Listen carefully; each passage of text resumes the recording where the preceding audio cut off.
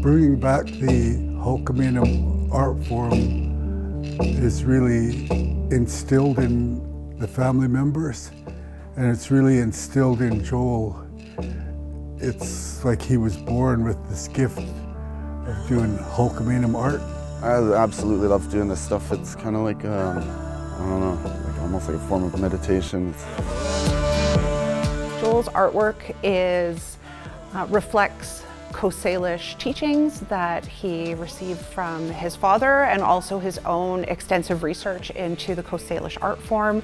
You can see the inspiration from his mom's paintings as well in his work and it, but with all of that, he still keeps a really distinct style. There's always really bold colors, and you can tell right away when you see one of his pieces that it's a Joel Good. It's a hard art form to do because you're trying to like, you try to make, it's hard to describe, but like you like make something as simple as it possibly can with the absolute most work going into it. and that's Coast Salish art.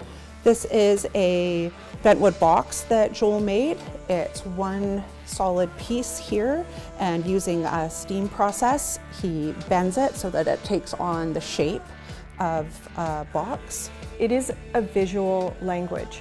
If he doesn't document it, it's not there. The intergenerational teachings that Joel has received from his father are extremely important to Coast Salish art and his father William and Joel are both important artists in Coast Salish art revitalization and bringing the art into the community and giving us all an opportunity to see it and to understand some of the um, oral history that can be seen in their art. It's critical that Joel carries on this art form. I think that if he doesn't do that, there's a huge gap. And really, we wouldn't be where we are today without him. He is a huge part of what Sophie and I do. Not only do you walk in and see his artwork everywhere, or do you watch a showcase on the runway and it's all of his artwork. He's also in the background, in the idea process. Everyone in our family have independently won the City of Nanaimo Culture and Heritage Awards.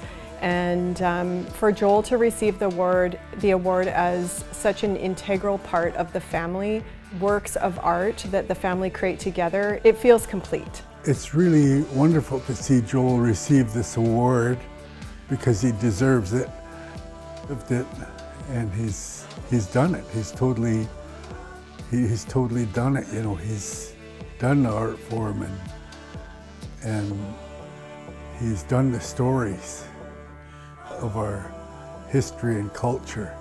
It's really wonderful to see this culture and history come back to our people, which was almost totally lost, and it's not anymore.